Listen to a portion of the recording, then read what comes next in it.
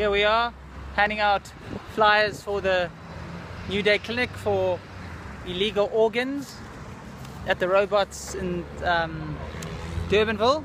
It's our first day out, so we'll be interested to see how many people are going to take them. But it seems people are very interested, so let's see how it goes.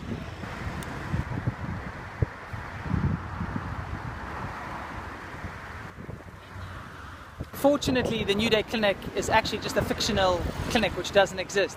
But unfortunately, the issue of organ trafficking is very real. And so the whole campaign was a marketing campaign for our film Bypass, starring Natalie Becker, Greg Kriek, Hakeem Kae-Kazim, and Deon Lotz. You can visit the website, it's bypassmovie.com.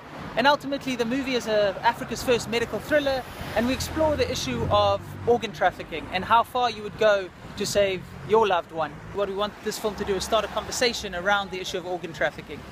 And we found that the easiest way to tackle the issue of the black market is for more people to sign up to become organ donors. So if you visit the website, which is bypassmovie.com, you can view the trailer, you can read the synopsis, and you can sign up to become an organ donor. Um, Bypass is coming out in Ster-Kinekor Theatres 12th of May, so please book yourself a ticket, go see the movie, um, and have a conversation around the issue of organ trafficking and what you can do to be involved um, as being part of the solution.